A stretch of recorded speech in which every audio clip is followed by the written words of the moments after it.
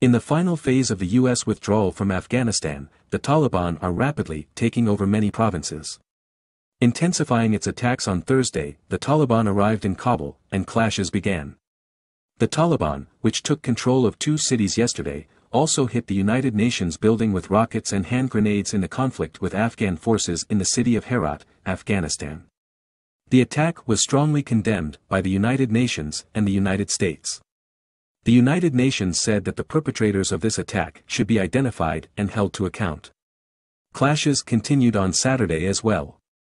Taliban forces also took control of a hospital in the area. However, as we tried to convey to you in our previous works, the Taliban is a terrorist organization that has been washed with blood. It is a brutal terrorist organization that can resist the 20-year adventure of the U.S. troops in Afghanistan and risk everything to overthrow the U.S.-backed government and does not make a ceasefire even on holy days. The decisions that the USA will take for Afghanistan and Central Asia from now on are in a very critical position. If there is an effort to organize an operation under the name of 20-year Afghan friendship by being emotional, it may share the same fate with Russia in the past.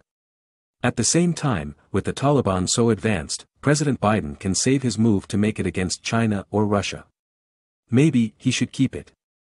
As a result, the US decided to withdraw the opportunity to intervene in Afghanistan for China and Russia. However, this move of the USA may also be to create a chance to move against Russia and China. The main UN compound in the capital of the western Afghan province of Herat was attacked by anti-government elements on Friday and at least one security guard was killed, the United Nations Assistance Mission in Afghanistan, UNAMA, said. The attack, involving rocket-propelled grenades and guns, happened hours after Taliban fighters penetrated deep into Herat city, and heavy clashes with Afghan security forces took place near the UNAMA provincial headquarters, officials said. In a statement after the attack, the UN said it was urgently seeking to establish a full picture of the assault.